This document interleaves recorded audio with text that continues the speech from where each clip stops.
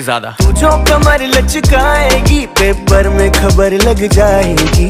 इतना बोला ना कर, तुझको खुद की नज़र लग जाए।